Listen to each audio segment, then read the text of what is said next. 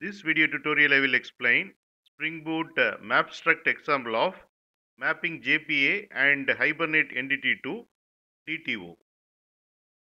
Using MapStruct, we can convert uh, Java object to DTO, JPA to DTO, Hibernate entity to DTO.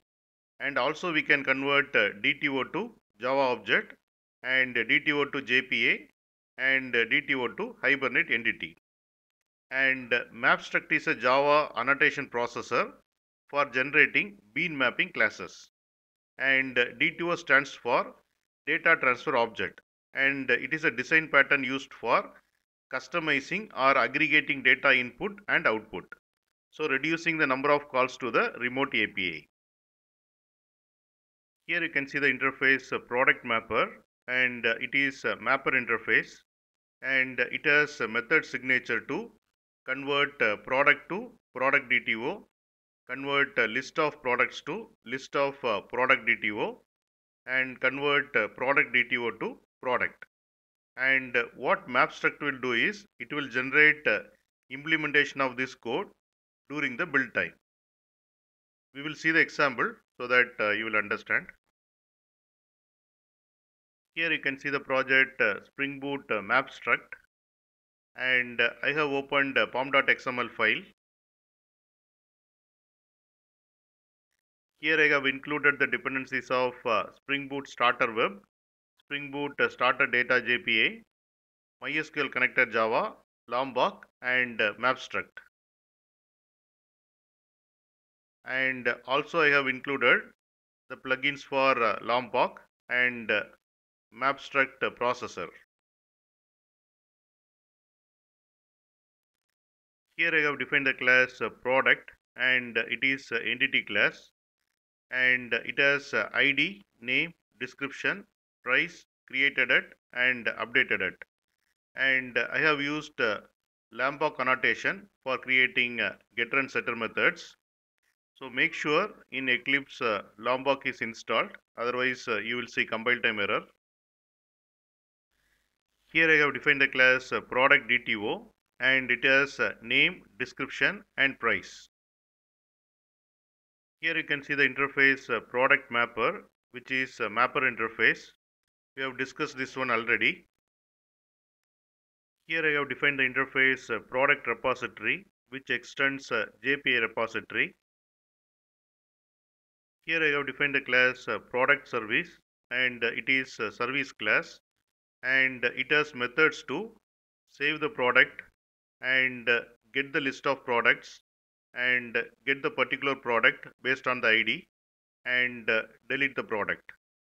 And this service class is using product repository for do all this CRUD operation.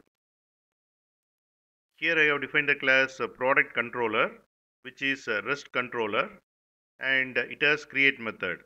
The incoming JSON will be converted to product DTO object and uh, then I am converting a product DTO object to product using a product mapper and uh, that product object I am saving into product uh, table. Then returns whatever is saved. And it has a find by ID method and it accept ID as a path variable and based on the product ID getting the product object then uh, converting product object to product DTO using uh, product mapper and uh, returns the product DTO to the caller. And it has update method which accept ID as a path variable. And the incoming JSON will be converted to product DTO and uh, product DTO I am converting to product object using uh, product mapper then uh, updating the product.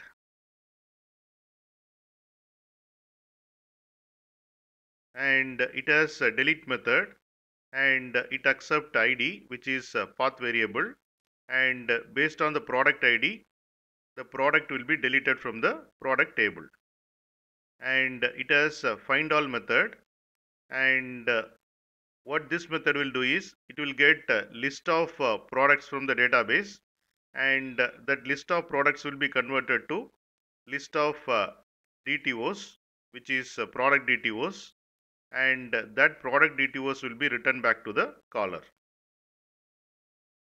In application.properties file, I have defined a database URL which points to product database and uh, username and password of uh, the product database and uh, the MySQL driver class and uh, DDL will be auto created for that uh, configuration. And uh, here you can see product database and it does not have any tables now. Here I have defined the class application which is Spring Boot application. I am going to start this Spring Boot application.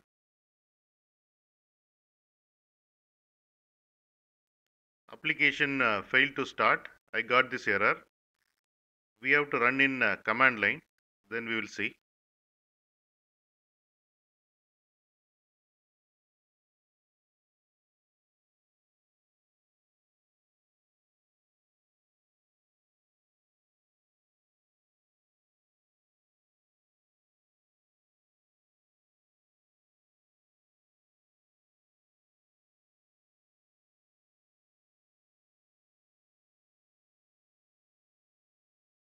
Use this uh, maven command to start the application.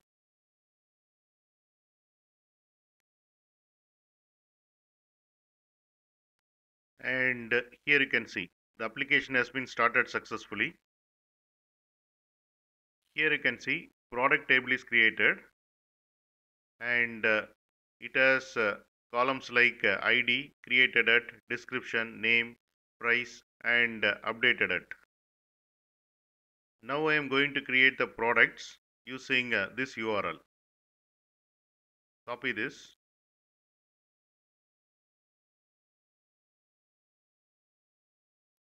HTTP method is post. Select JSON.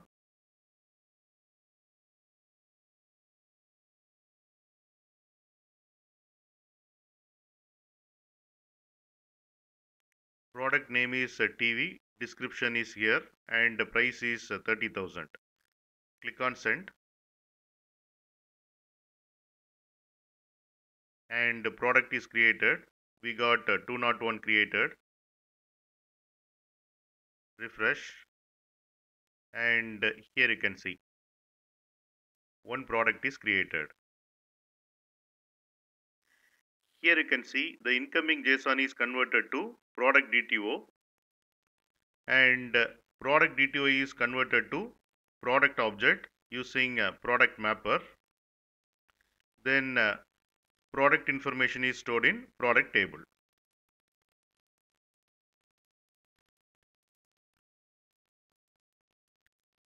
I will create uh, one more product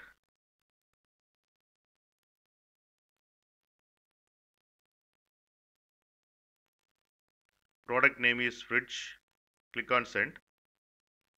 And uh, it is created. Refresh. I will create uh, one more product.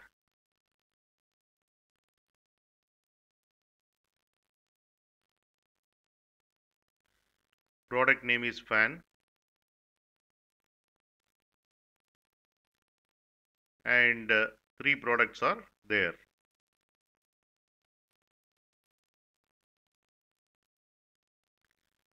Suppose I want to get uh, all the products, then uh, we have to use uh, this URL.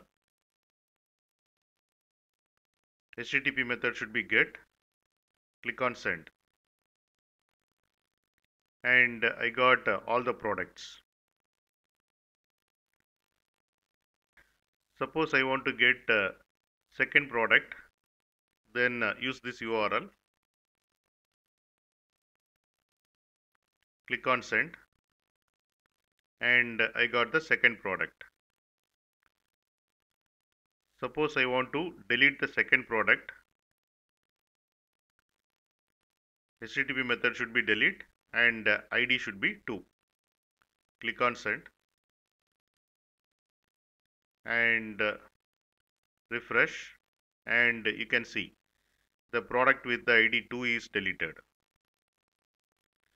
suppose uh, i want to update the existing uh, product. Say i want to update the existing product uh, 3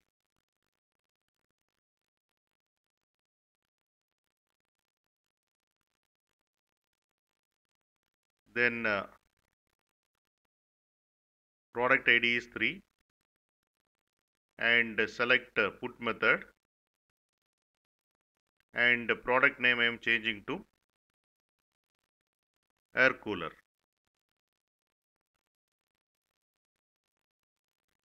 Click on send.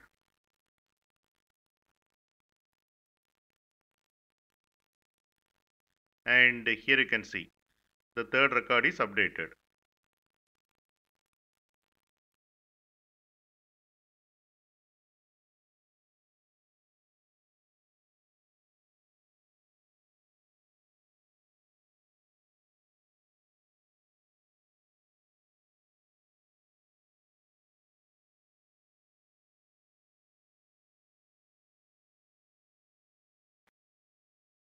You can get uh, Java source code link for uh, each video in the description section of the video. Here you can see the description section. Click on uh, show more and here you can see the Java source code links. Click on these links to get the Java source code.